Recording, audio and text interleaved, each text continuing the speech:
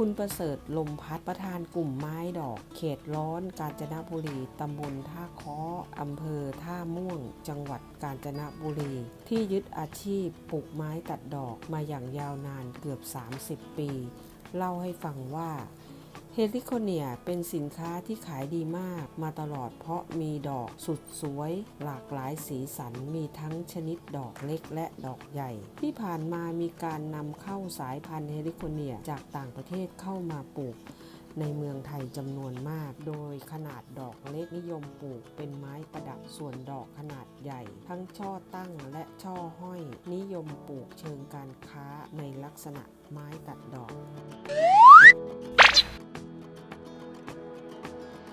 ไม้ตัดดอกเมืองร้อนปลูกดูแลง่าย ลงทุนปลูกเพียงครั้งเดียว เก็บดอกขายได้นานสำหรับแปลงปลูกใหม่ ใช้เวลา 18 ถึง 24 เดือน ก็เริ่มเก็บผลผลิตขายได้ ใช้ต้นทุนไม่มาก แค่ดูแลใส่ปุ๋ยช่วงเริ่มปลูกครั้งแรก ใช้ยูเรีย เร่งหน่อสัก 2 ครั้ง และใส่ปุ๋ยสูตร 15 พอต้นโตให้ดอกก็หยุดใส่ปุ๋ย ดูแลให้น้ำเป็นหลักหากขาดน้ำจะทำให้ผลผลิตลดลง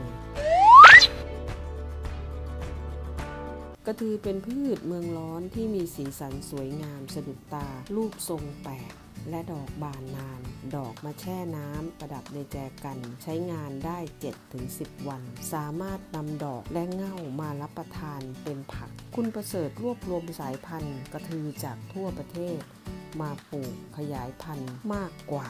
20 สายพันธุ์ เช่น กระทือดำขิงแมงดาที่มีลักษณะทรงต้นใบก้านคล้ายต้นขิง แต่มีกลิ่นหอมเหมือนกลิ่นแมงดานาตัวผู้ไผ่ชมพูจุดเด่นสำคัญคือ ช่อดอกอ่อนมีสีเหลือง พอดอกแก่เปลี่ยนเป็นสีชมพู เหมาะสำหรับประดับตกแต่งแจกันขนาดเล็กช่วงฤดูฝน กระทือเริ่มแตกหน่อใช้ระยะเวลาประมาณ 1 เดือน ก็ตัดดอกขายได้โดยทั่วไป กระทือหนึ่งกอมีอายุการเก็บเกี่ยว 3 เดือน สีส้มสวยสวยสวยอันนี้ก็สวยอืมสวยเอาเลนฮาร์ดอันนั้นสีขาว ปีสีขาวอันนปีสีม่วงแต่พอเริ่มแก่เขาจะออกเปลี่ยนสีแล้วถ้าแก่นี่ก็จะสีชมพูถูกไหมคะ ใช่ใช่คาบสีขาวดอกใหญ่ขนาดนี้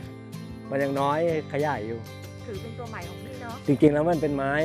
มานานเนแล้วแต่ไม่มีใครเอามาทำเลยผมว่าใช่มันใช่ทำเป็นตาดอกแล้วมันทนนะอีเดนพิงค์อะอันนี้เป็นอิมพีเดียลอันนี้มันไม้ทางแดดไงใครมาซื้อเนี่ยผมจะเขียนไปที่ต้นเลยไม้ตัวนี้ปลูกอย่างนี้